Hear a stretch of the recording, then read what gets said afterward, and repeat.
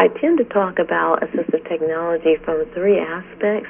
What I refer to as ADLs. Um, the A refers to accessibility, the D to diversity, and the L to looking at language and literacy. So when I look at the application of assistive technology, I see it's particularly its application for individuals from linguistically diverse backgrounds.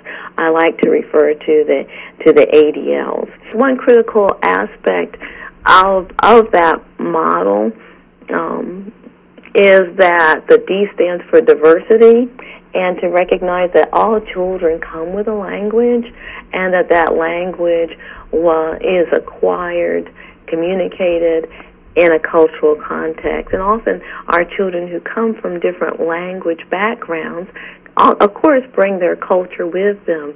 So I think it's critical for educators, for teachers, not to overlook the, the cultural background of children because language is a vehicle in which, in which um, culture grows and vice versa. There's kind of that symbiotic relationship. So always to remember whether that child is nonverbal or not, they still exist within a language or linguistic community.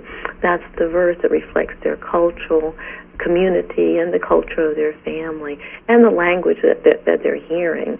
So um, technology is critical in that with today's technology, we can create communication devices that can be multilingual, that they can communicate with pictures, can communicate with words from a first language or a home language and can also communicate with a language that might be in their learning environment or their developmental environment.